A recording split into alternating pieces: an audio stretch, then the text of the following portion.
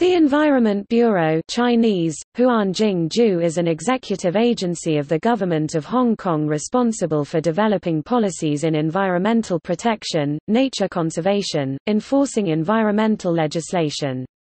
This also includes monitoring environmental quality, energy efficiency, waste management, renewable energy development, regulatory oversight of the electricity sector in Hong Kong. The Bureau is managed by the Secretary for the Environment.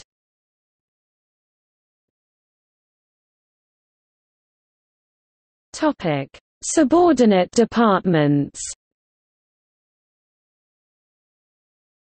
The following public entities are managed by the Bureau. Environmental Protection Department. Energy and Sustainable Development Branch.